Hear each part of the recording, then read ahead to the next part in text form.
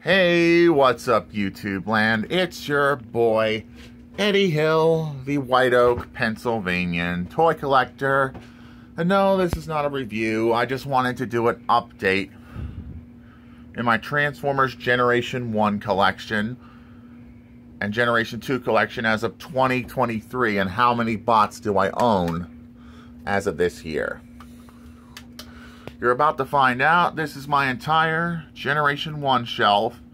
And I got quite a few bots here. I'm still missing quite a few in my collection. I want to get a bigger Ratchet. I want to get gears and a G1 vehicle mode Ironhide here. Here we got my random Transformer shelf. We got my Infernicus combiner here. Down there, we got Superion, we got Jetfire, we got the Dinobots, Swoop, Snarl, Slag, Grimlock, Warpath, Powerglide, Cosmos, Sea Spray, and we got uh, Red Alert, Hoist, and who could forget Tracks. And up here on the Generation 1, we got Jetfire, Optimus, Skids, Brawn, Windcharger, Bumblebee, Cliffjumper, Huffer, Trailbreaker, Mirage, Sideswipe, Sunstreaker, Wheeljack, Hound, Prowl, and Jazz. So that's my entire Generation 1 and Generation 2 Autobot collections. Oh, we got Perceptor here in Transformers Generation 1, so we got Perceptor too. Always forget to mention him.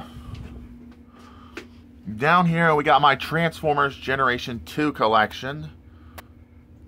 Just going to flick on the lights to get some more light in here. We got Combiner Wars Bruticus, Combiner Wars Devastator. Those are the main Decepticon combiners. I do got Menasor, but I'm going to probably think about getting the Legacy Menasor to add to this shelf.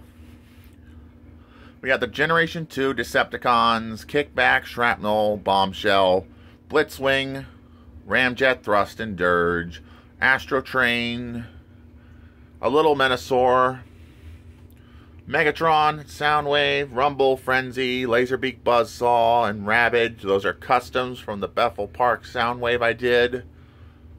I like doing custom figures. They're a lot of fun to do.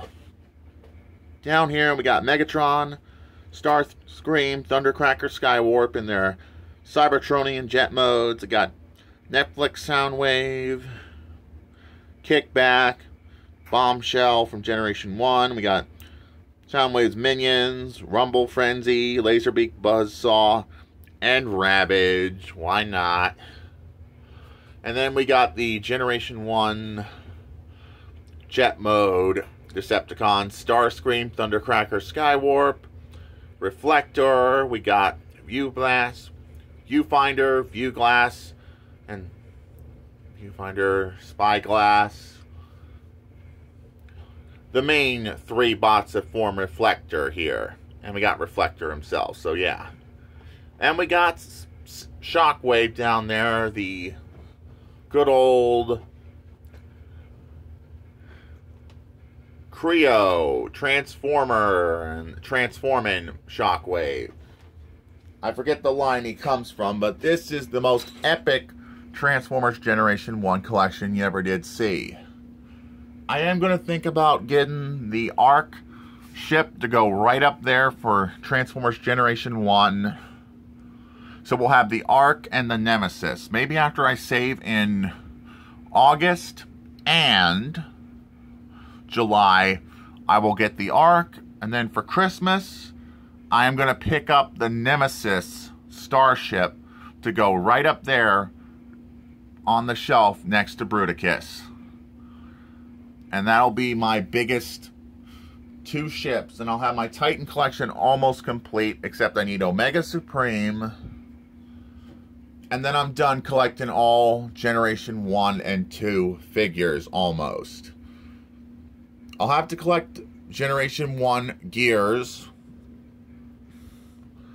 and probably the rest of the Generation 2 bots I don't have, like Smokescreen.